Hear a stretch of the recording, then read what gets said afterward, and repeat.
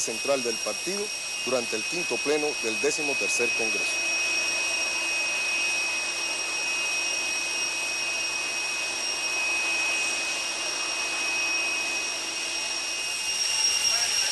Nacional Popular y en marzo de 1990 fue electo presidente de la Comisión Central Militar de la República Popular en el tercer periodo de sesiones del séptimo Congreso Nacional Popular.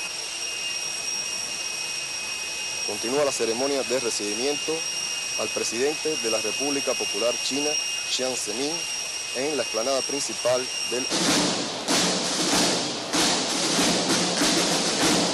Invitados. China es un país de cultura milenaria.